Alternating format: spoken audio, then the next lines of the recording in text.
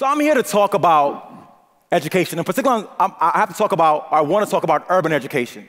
And the only way for me to really convey my feelings about how to improve urban education or about that area of study is to go back in my life and life's history. So, can we go on a quick journey? So, I grew up in Brooklyn and the Bronx, New York. Um, you know, cars playing hip hop driving by were my lullabies. And in that space and time, I came to really love where I came from. But about 10, 11 blocks away from where I lived were the housing projects. And I was told that, Chris, you're good, but them kids in the housing projects, don't hang out with them. They're loud, they're abrasive, they don't want to learn, they are not who you want to be. And I, even then, was kind of like a scientist. So I was like, well, if everyone's saying this about them, they're not smart, and they're saying they're loud, maybe then loud people aren't smart. And I constructed a hypothesis around those folks. I tested my experiment. It kind of came to be when I saw them. Another really powerful experiment or observation I made was about rainbows. So, you guys ever see a picture of a rainbow? Every time you see a picture of a rainbow, it's, a, it's over this like beautiful lagoon or like this like wonderful looking mountain piece, right? And so I had these theories about urban youth of color. I had these theories about rainbows. And my theory about rainbows was that the rainbows looked that pretty because the places where they flew over or where they were over were beautiful. I thought the rainbow's colors came from the places that the rainbow hovered over. So could you imagine my shock and surprise when one morning I look out and there is this perfectly shaped parabola in multiple colors over the housing projects. Rainbows are not supposed to be made in those places. And so I started researching further about rainbows, and I realized that rainbows don't care where you are or where you come from. Rainbows just need sunlight, droplets of water. The water refracts and reflects off the water drops, disperses the color around the top of the place, and it's, and it's magical. So the rainbow just needs the perfect conditions to allow its brilliance to be expressed. It cares not where it happens. And I also realized that you could get a cup of water, a flashlight, and a mirror and make a rainbow in your living room. so this like motivated me. I'm like, if the kids in the projects can make rainbows, then I want to work in education. So I decided to, you know, leave my science degrees behind and go into the classroom. I went to the classroom to teach. I started engaging with young folks from the same places that they said rainbows couldn't be built in. And as I'm engaging with them and talking to them, I'm seeing all these different forms of brilliance. And after this happens, I said, oh my gosh, I have to, I love the classroom. I have to leave the classroom and go to another platform so I can show the entire world that rainbows can hover over projects. And so I went to educational conferences. I put in a proposal. I went to speak. And I was telling folks about all this magic I saw in the hood. And I looked out, and there were two people. And then I turned the corner, and this dude was up there, and he had like 500 people talking to him, and he's talking to them about the same topic, the same demographic urban schools, youth of color. And as I'm hearing him talk, and he's pretending as he has this, like he has this ethic of care about those young folks, but as I'm hearing him talk, I'm realizing this guy does not believe that rainbows can fly over projects. He said he cares about them, but he doesn't see the value in them. And that made me so mad, I started doing my homework. I wanted to find out where he taught, who made him so poppin', why he got 500 people listening to him? Because I needed to get that same platform to showcase the narrative that I experienced with those young folks. And so I did my homework and did my research. I found out that he worked at an Ivy League institution. I worked, I got a job at an Ivy League institution. I heard that he wrote articles in certain journals. I published in those very same journals. Man, I learned that he wrote a book. Shoot, I wrote a damn book. Like, you know, now my, my title's a little different. And so all this happens, and then one day I'm home and somebody writes a letter. And you know, it's a popping thing when it's not an email, it's like a letter. Nobody writes letters. I, I got this letter. And the letter said, Dear Professor Emdin, you're invited to the, the organization's meeting with all these impactful educational researchers, and you're one of the select few who's invited to have a conversation with us around education. And so I'm like, yes, I'm in the club. And so I was so excited to go to this meeting, right?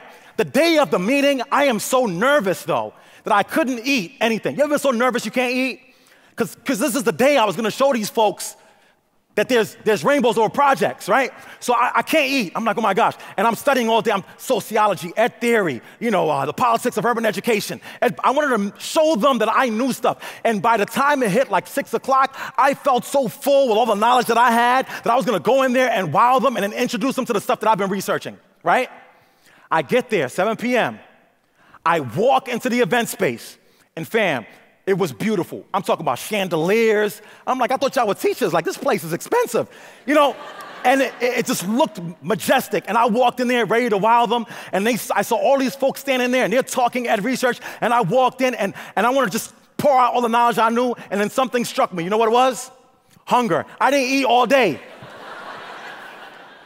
So I'm sitting there hungry, like, oh my gosh, I need to eat. Now they're talking at theory, but I'm like, you know what? I need to eat. Once I eat, I'll feel better, then I'll wow them with my brilliance, right?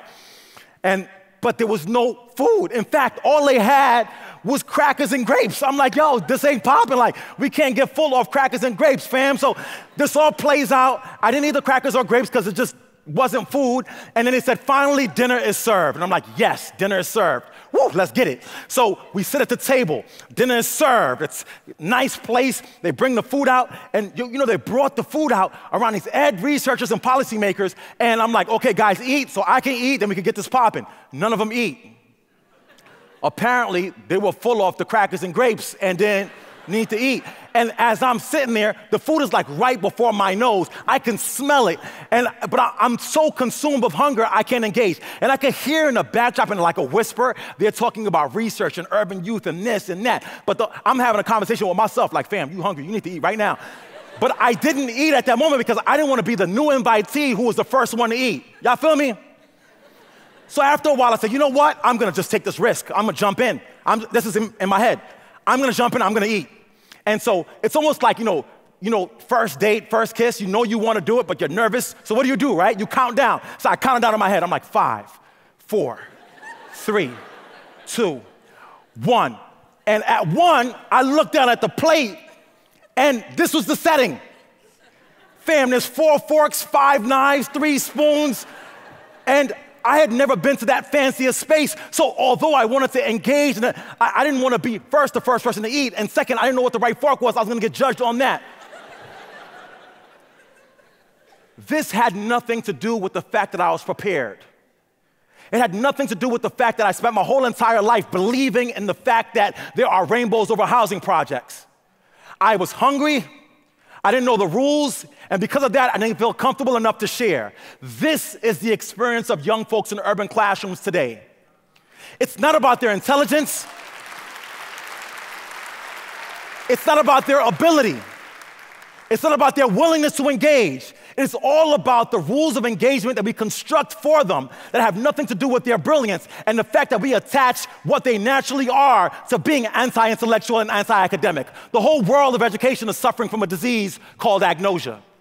If you're a medical doctor or if you're into neuroscience, you know agnosia. Agnosia is a condition where a human being can identify a phenomenon in the past, and then after some, some sort of like lesion on a part of your brain, you can no longer see it. See, educators have agnosia in the sense that they have a cultural agnosia. They can recognize brilliance when it looks like them, but they can't identify it when it doesn't. And a cultural agnosia has permeated the field of education, particularly with youth of color. And it's so insidious that we don't even recognize that we have a disease. But guess what, y'all? I got a cure. Y'all want to hear the cure? The cure is being ratchetdemic. Y'all ain't ready. Now, ratchetdemic is not in your dictionary. I started using it about seven years ago, and I think it's catching on. ratchetdemic is, let me break it down like my English teacher used to. It is to be ratchet and academic. Now, who knows what it means to be ratchet? I know we're in a fancy, smancy place, but some of y'all know what ratchet is. You ain't saying nothing. But to be ratchet is to, let me find, a, let me find an academic definition for ratchet. To be ratchet is to, to exemplify all negative characteristics associated with urban spaces right? to be loud, obnoxious. And, and you know, some of y'all are ratchet. Some of y'all have a ratchet friend. Some of y'all are the ratchet friend. But either way, Ratchet exists, but also you can be academic and intellectual and be the pursuit of new knowledge. And we've constructed a scenario for young people that you either have to choose to be ratchet or academic. And because of that, they choose what's most comfortable and they believe it means that they can't be academic. So if we create new spaces in schools, y'all ain't with me, if you could create new spaces in schools to let young folks know that you could be equally as ratchet as you are academic. You could be as you are, but I want lower expectations. The rigor is still high, the standards are still high. But if you come in a little loud, that's okay. If if you dress a little funny, that's all right. If you speak with a voice inflection, that's okay. If, you, if you're English language learner, you have a thick accent, that's okay. You can be who you are, and I will accept you as you are, even if it makes me uncomfortable in the pursuit of our academic attainment. And to, let me switch hats on y'all. Look,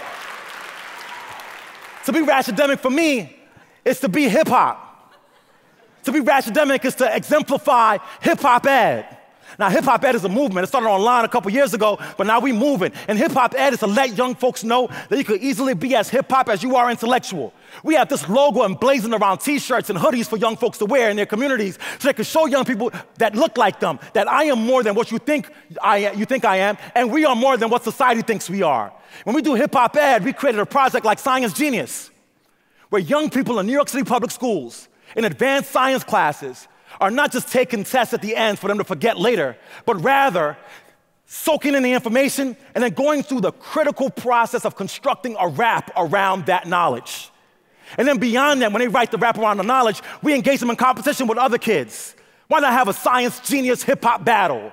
And, and the winner of the science genius hip hop battle could go back to the hood like, yeah, I got bars, plus I'm scientific, dog, what? we wanna reimagine what this thing looks like by recreating educational spaces in a way that says, come as you are and be brilliant as you are. Now, if you come as you are and you ain't brilliant, you ain't down with hip hop ed. Y'all ain't with me. If you come as you are and you're only representing a trope or an image of what they say we are that doesn't represent who we are or a corporate and media saturated image of hip hop, we don't accept you. Because to be hip hop ed, you gotta be hip hop and popping academically and intellectually as well. And once we create these spaces for young people, they believe it. They hold on to it. They walk into this image here, the winners of Science Genius from last year with their hip hop ed t shirts in front of an Ivy League institution, posing in front of it like it's an album cover. These things shape the identity, they, they shift your confidence. They move something in the depths of your soul, and they help you to reimagine yourself to be in a way you've never seen before. So, to close, I'm gonna have D come back out here. D, can you come back out real quick? I lost them. it happens. To close, I'm gonna skip these slides, man, because my heart is so full.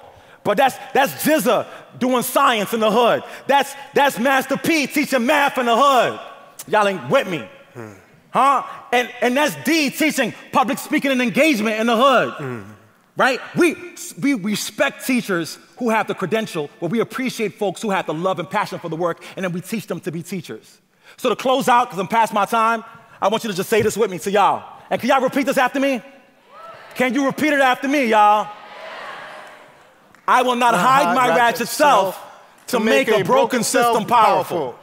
I will not be made to be less than because I choose to be myself.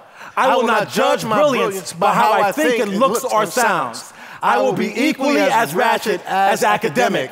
And for my young folks in the hood, if you're watching this, when you make the wrong choice and they say, oh, you corny because you're going to school and being academic, I want you to remember that from this point on, we are Oreo no more. we are teaching and being ratchetdemic. Thank you. Ow!